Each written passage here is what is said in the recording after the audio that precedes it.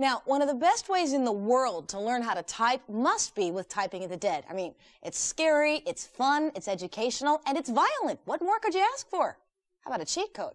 Oh, don't forget, you need a keyboard. Now, where did I put mine? It's somewhere in here. Like, hey, quit it. Quit it. God, haunted houses.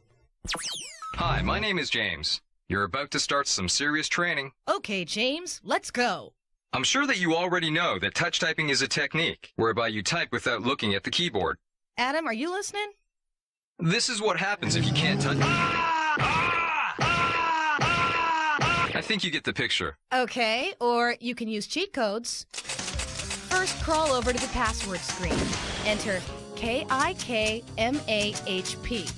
You'll unlock unlimited continues, unlock all drill mode levels, unlock all boss mode bosses, and unlock the Versus CPU mode. Let's hurry, Gary. Now you'll have an edge on beating. I am Goldman. I am Goldman.